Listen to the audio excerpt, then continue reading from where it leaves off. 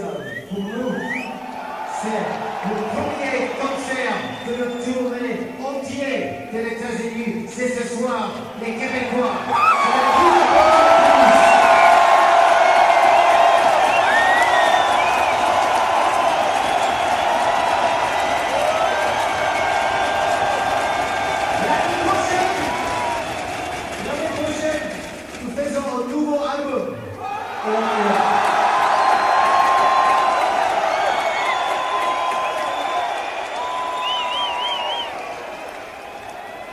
Qu'est-ce que vous pensez euh, au sujet de concert au Québec avec le nouveau